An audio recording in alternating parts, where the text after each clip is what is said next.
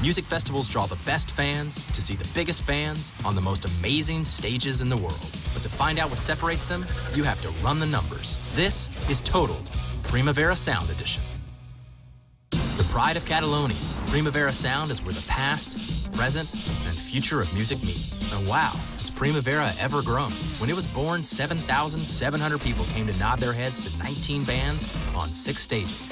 That seemed pretty big at the time, but by 2008, Primavera had grown exponentially to 61,782 fans dancing to 123 bands. That's a lot more porta potties. But this year, Primavera Sound is all grown up. Organizers are expecting 195,000 people rocking out to 250 bands on eight stages and in one auditorium. So if you're coming, sleep now so you can let your freak flag fly. When the word got out around 2009 what a killer festival this is, people outside of Spain started coming. And faster than you can say, Donde está la fiesta? People started flocking here. Last year, 42% of the attendees were from around the globe. People from as far away as the Bahamas, Nepal, Greenland, and Madagascar have ripped it up here. Of the 58% of festival goers from Spain, one quarter are from the surrounding city of Barcelona. Barcelona? Mm, sorry, Barcelona. So that's what separates Primavera Sound goers. But what brings them together?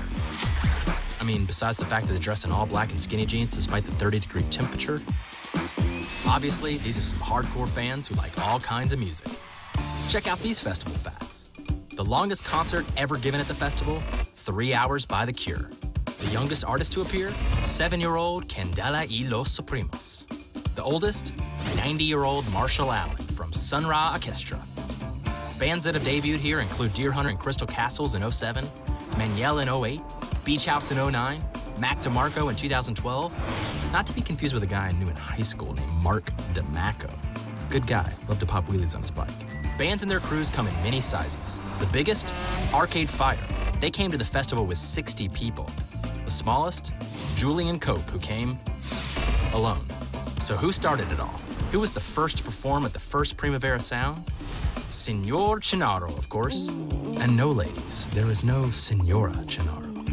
And the artist who's played the festival the most, none other than Shellac, who will perform in 2016 for the 10th time.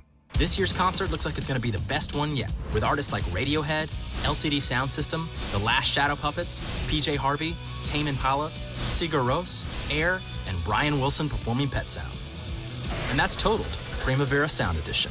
Now, the only other number to add is you. Tune into the live broadcast of Primavera Sound June 2nd through 4th. Only on Red Bull TV.